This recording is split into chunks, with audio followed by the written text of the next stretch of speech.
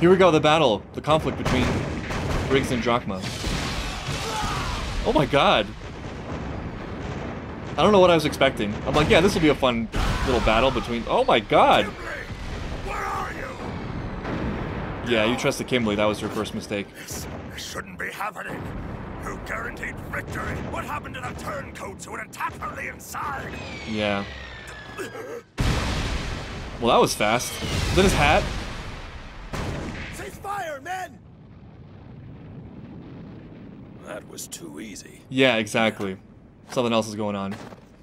But why? There he is. The crest is carved. Oh, he's making the blood seal. That's genius. Yeah, that means everything's complete, right? That's it. The circle's done. The crests are done. Does that mean now Father can do his thing, whatever that thing is? that was a crazy start to the episode. I thought that conflict would be a lot longer.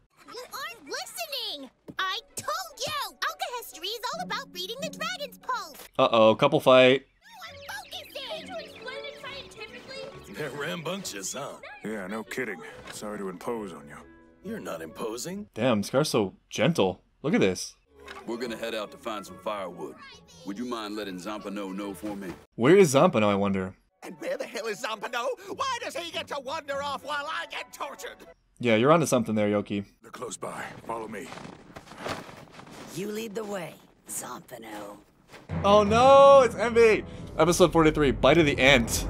I feel like we're basically at the beginning of the end of the show. I just wanted one moment where I didn't get fooled by Envy. At this point, it just feels like it's never gonna happen. That's okay.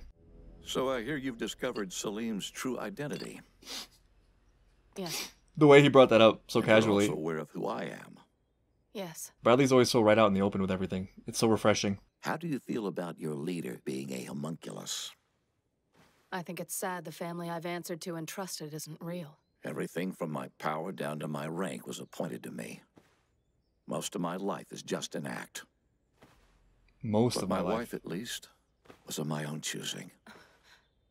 These Bradley conversations are just the gift that keeps on giving. He's like, so, by the way, uh, I heard that you've uncovered everything. I feel like on some level, Bradley's the ultimate troll. I understand, though. I imagine it could get a little bit boring sometimes, running a country, hatching a murderous plot, you know? You gotta find enjoyment in the little things like harassing your inferiors. The more conversations like this I hear from Bradley, the more I wonder where he'll fall. I could be misinterpreting it, but that sounded like regret a little bit. Like nothing was my choice except for my wife, which is one of the things he actually seems to care about. And I can't stop thinking about that conversation he had with Pride when we first heard Pride about father not being too pleased with him. Who is this man with you?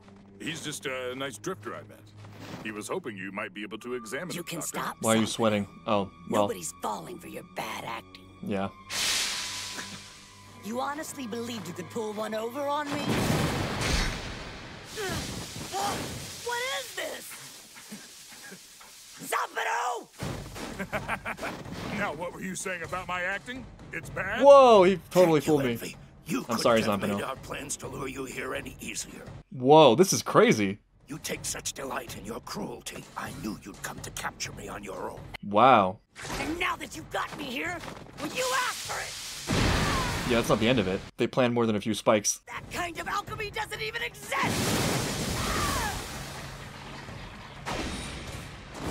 Damn it! See, Envy's capable of anger. How does it feel to have the tables turned on you? It's not as much fun on that side, is it? But this can't be the whole plan. It's working perfectly. He doesn't know it's remote Mm. History. Right, right. Good job, Mei Chang. That's enough! You should have just done as you were told! Oh no, is he gonna dinosaur again? I gotta give some credit to Dr. Marcoh. And to Zampano for his amazing acting. He totally fooled me. I'm not exactly sure what their endgame is though. I don't think we saw much last time except that they discovered there's another kind of circle. There's the Alkahestry circle. What do they need Envy for? Oh yeah, he's dinosauring. I was waiting for Scar. Now then, what do you think of this? Man, they were organized.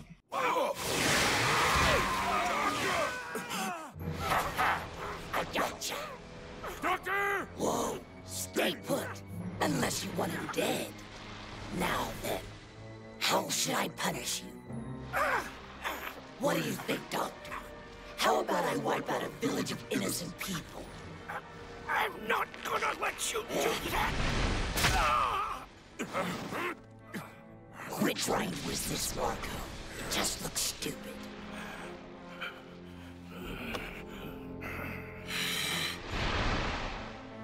There we go. That slum is ripe for destruction. Don't do it! But it would be wasteful to simply kill them. I could always take them back to Central instead. We are running low on ingredients. Monster! You're still using souls to make Philosopher Stones? I won't let you! Let my research team go, damn it! Oh, sorry. It's a little late to release them now that we've turned them into Philosopher Stones. You sacrificed my men! What? I forgot to tell you. Oh, well, Doctor, there's no point crying over spilled milk now. It's not right for you to get so upset considering all the stones you've made. And all the lives you put into them.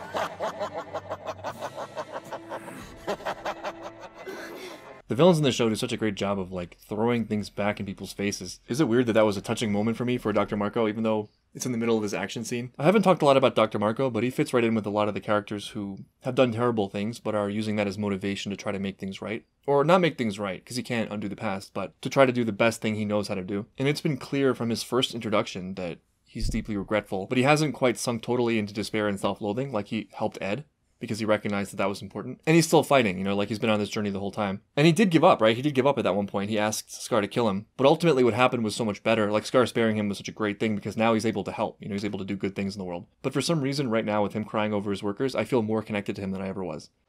You're right. I've sacrificed many innocent lives to make your damned Philosopher's Stones. I know better than anyone else how much pain goes into creating them. And not only do I know how to create them, but I know how to destroy them as well! Whoa! Speaking of doing some good, Full Metal Alchemist. that is awesome. Damn, Marcoh just became such a badass. I feel like I've been sleeping on him this whole time. Alright, good. Please no more dinosaur form.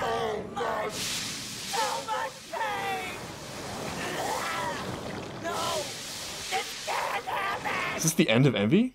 I can never be defeated by pathetic creatures like you! And you, you chimeras! Don't quit looking at me! How dare you look at me! Don't look down on me, you worms! Don't look down. Oh my god, what is that? This is an even better punishment for Envy than death. This Yeah. is the thing that caused so much damage.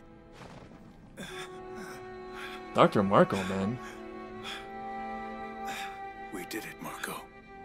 We won. I was really not expecting that. It doesn't seem like Envy's dead because they still have that little thing. It reminds me of uh, The Nightmare Before Christmas with what's his name? Oogie Boogie? My bugs! But yeah, I think that's the perfect punishment for Envy. Having everybody stand around him, pitying him, or thinking that he's pathetic. It's very poetic. And it's especially amazing having Dr. Marcoh be the one after all the torment that Envy put him through. That's some sweet revenge. But I think Envy's still alive. What's that? Kill it! Unless they need it for research. I can't believe you guys would keep me in the dark about this. That's what you get for picking a fight with us humans, grotesque tadpole. I've always done what I was told to do. I had to take a risk and think for myself this time. I put my fear aside and did what was right. I wanted to be like your parents. Wow. You were, but try not to be so reckless. Sure. I love that. Mr. Yoki? Help! Get it off me! I've hijacked this Leave it to Yoki.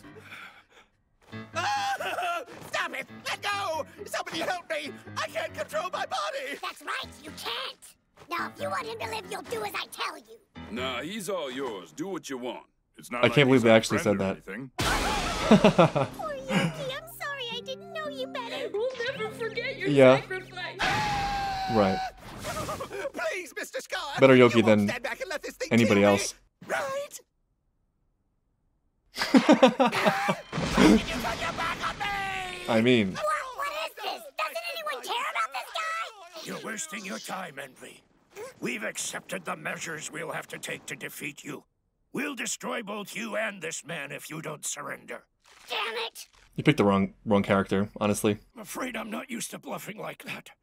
Damn all of you! Were they bluffing though? Were they? So what now? Should we head back to Baschool to check?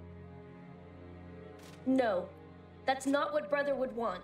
You just gotta he would trust, trust for that now. I was alright and wouldn't let a rumor stop him. Yeah, that's tough. I'll go my separate way for now. I realize something about the actions I've taken. I don't intend to simply punish this country for what it did to Ishval. I want to change it. Wow. And I'll need your help, Marcoh. The two of us need to set things right. All right then. We'll travel together. Hmm. In order to change this country. Actually, I've got some place I've been meaning to check out. Oh, where's that? It's a town called Lior. I'm not sure, but I've got a feeling the tunnel runs under it. It does. Take this thing and return to your country. Hold on! It's the remnants of a seemingly indestructible creature. It might appease your emperor enough to save your clan. I can't! Who's gonna teach you about alkahestry if I leave? You need That's to think right, about we- your own country. Have you forgotten why you came here in the first place? Your clan could lose its power struggle. And what explanation will you have for them when you return home? Will you apologize and tell them you were too busy saving another country? Now go home. Forget this place. Leave this country's problems to its people. Interesting. She can't though. Not now. I mean, they're okay with it, but she's not gonna be. Thank you for everything. Or are they trying to keep her out of danger? I can see that too, because things are about to go down and she's a little kid. But anyway, going back, I love that reference to the conversation Scar had with Miles. Revenge against the entire country was wrong to begin with, because who does that even mean exactly? You know, that includes people like Ad Alwynry, and even though he might not care that much, it also includes people who really regret their actions in Ishval, like Roy Mustang. About Mei Chang, and also I guess related to Scar, it's sort of weird for me to think about her placing priority on her people over the evil that she sees right in front of her. On some level, I get it because it's her family, it's people she cares about, and I understand why we categorize things that way and like helping the things that you know or helping the things that you're a part of. But on some level, those boundaries or those categorizations are artificial. Like, she's facing a real evil that will probably spread to Shing. And these are also people who she really cares about, and she could really help with her alchemy. So I have a feeling she's gonna stick around. There she goes. Uh huh. We should start moving as well. Let's go.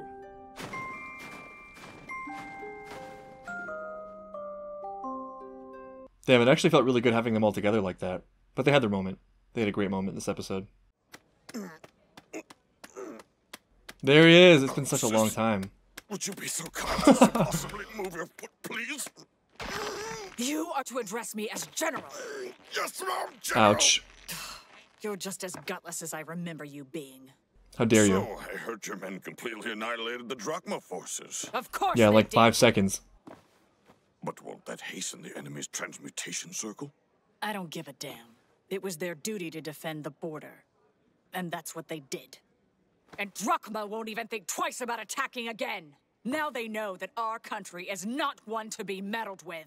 Oh my, you've only grown more ferocious. How will you ever find a husband if you continue to... You brought that on yourself. I need to get away from you before I start to catch your cowardice. How could you be so mean to Alex Louis Armstrong? Strong. He's so nice. What about creating people? Why do you suppose the state would so firmly enforce this regulation? It's simply unethical, sir. It's even taboo amongst alchemists. From what I understand, they regard it as an implicit sacrilege against God. There's more to it than that. Isn't why. The state has no interest in ethics. They're too much of a variable to use as a guideline. The true reason is far less abstract. The third tenet is to prevent someone from creating their own army, General.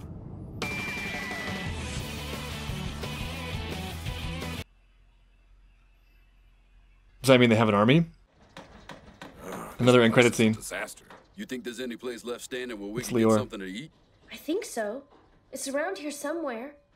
You're gonna meet Rose. There she is. Rose, how are you? What a surprise! So, Al, what brings you back to Lior? Looks like the kid knows her, doesn't he? We went through a lot together. That's too bad. I've actually really missed him. Winry? What, what, Al? Oh, nothing. You just kind of had a funny look on your face, that's all. I did not. You're imagining things. What is she getting jealous? Rose, These pots are as clean as they get. Whoa, else? he's still here. Huh? Ah. No, don't end it there. Come on. Resolution are all bound Damn you! I got cliffhanger twice in one episode. I don't like that. That episode shocked the hell out of me. I was not expecting Dr. Marcoh to be that awesome, and for Envy to sort of be taken out. I mean, Envy's not out of the picture. I feel like that's too big of a loose end not to tie up, so I feel like we'll see Envy and Mei again. But still, that whole sequence was incredible. We got some major character changes or redemption things happening for Dr. Marcoh and also for Scar. This seems like the culmination for him in a lot of ways, like I'm talking about changing the country. It's really fun how all these little conversations end up being really important. You know, like they're all learning from each other constantly, and they each influence each other to be better in their own individual ways. That's something we've seen with just about everyone. We've seen that with Ed and Al a lot, obviously, like their encounters in the world constantly force them to reflect and we see how Ed has internalized that where he's like ready to die for his beliefs, you know, to help people. We see that with Winry coming to terms with Scar to the point where they can coexist, which is crazy. And in Scar's case, there were a lot of factors, a lot of inputs, but in this episode it focused a lot on the conversation with Miles, who's really a side character, right, when you think about it, but still ends up bringing a lot to the table, which is one of the best things about the show is that everybody feels important, except for Yoki. But what are you gonna do? Yoki's importance is being unimportant. We need a punching bag.